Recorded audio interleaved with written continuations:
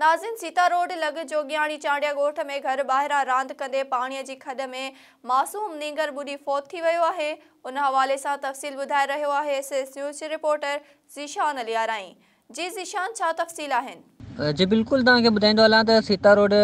भरसा गोठ जोगियाणी चांडिया में टे साल निंगर शिराज अली वल्द अली असगर रिंद घर बाहरा रांद खेॾंदे पाणी जी खॾ में किरी फोत थी वियो देर से संदस माँ गोली दी केर से पानी जी खड़ा माँ कड़े हो निंगर के फौरी तौर सितर और अस्पताल लांडो ये जितने मौजूदा डॉक्टर निंगर जी फोर्थ हैं जी तस्ती कई संदस अमर के बेहोशी जात दौरा पावन लगा जी जिशान आ रही तफसील बुधाने